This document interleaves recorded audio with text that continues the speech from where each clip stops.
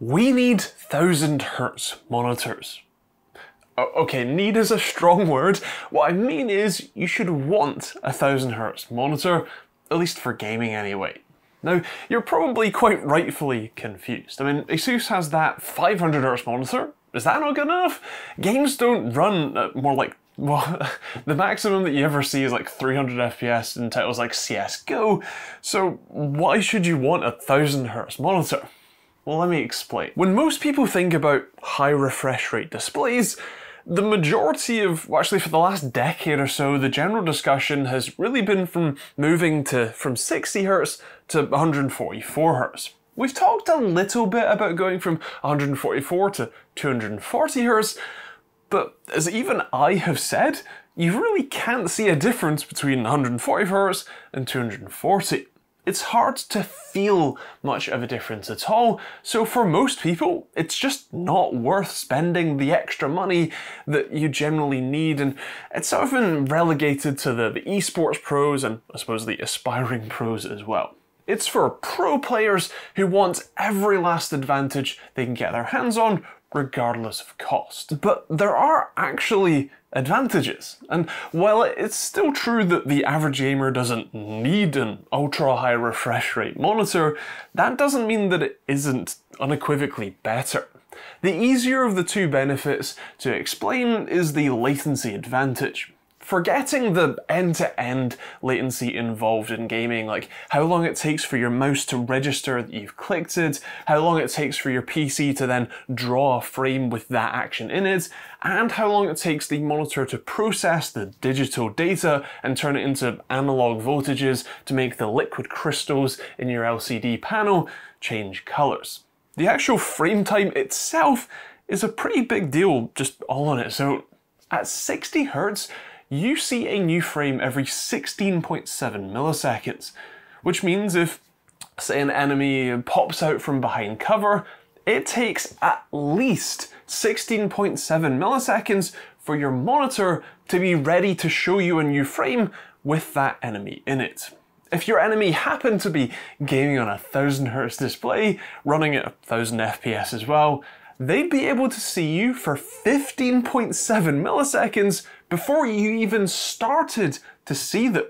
It would then take you another 16.7 milliseconds before you can even start to aim your mouse towards you and target them, whereas they can start targeting you instantly.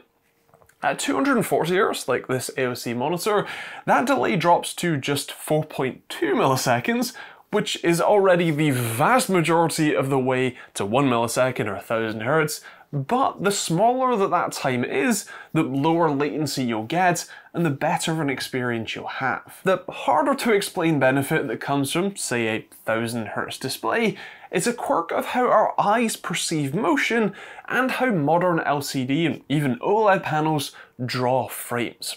Old CRTs were actually better in a lot of ways, with one of the biggest advantages being how little light is actually being emitted at any one time. CRT displays draw frames line by line and scan across those lines so that only a tiny trail of the image is actually being shown at any given moment.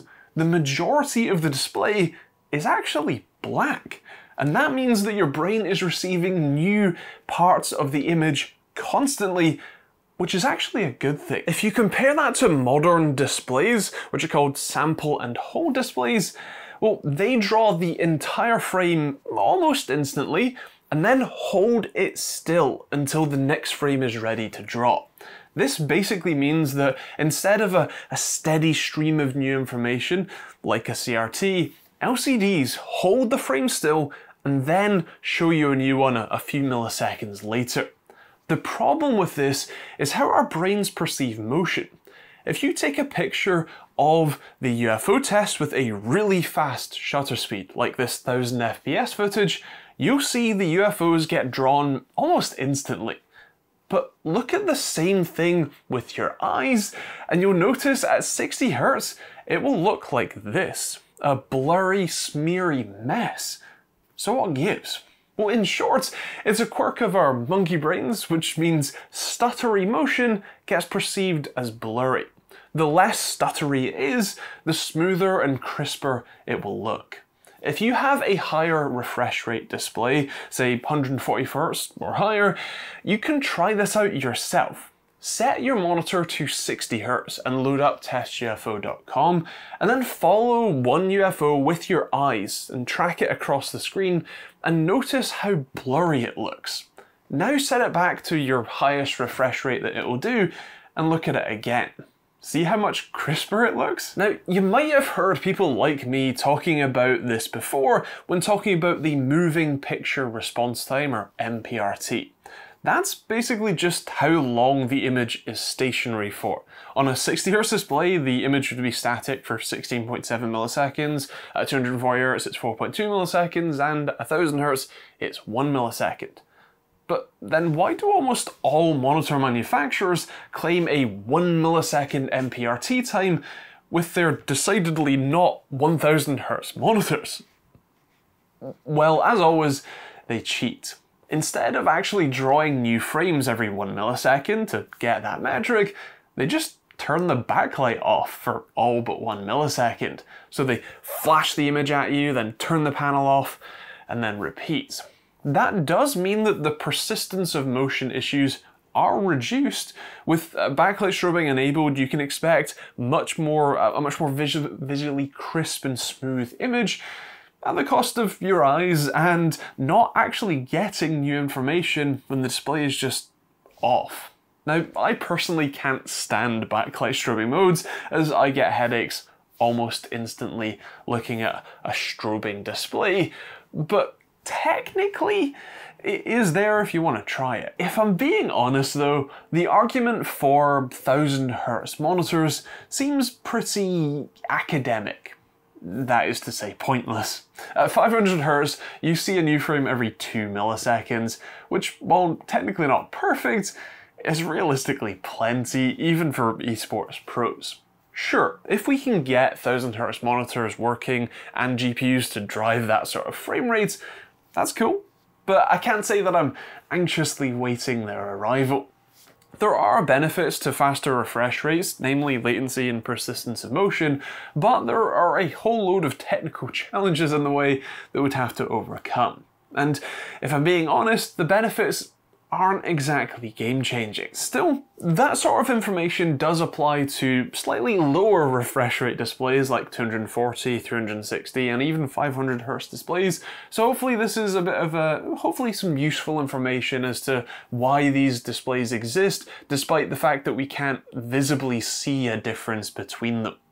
If you're interested in these sorts of videos, do feel free to check out the plenty of other ones that are on the channel already, and hit the subscribe button and turn on the bell notification icon.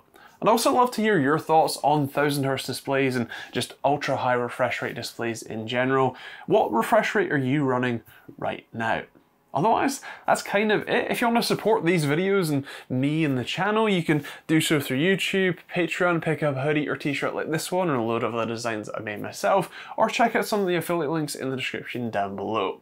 I'll leave a link to both the AOC monitor that I reviewed uh, last week, and definitely check out that video. I'll hopefully leave that in the end cards or uh, up at the top, whatever, uh, and a link to it in the description if you want to check it out, because it's an insanely cheap 240Hz 1080p monitor so definitely take a look.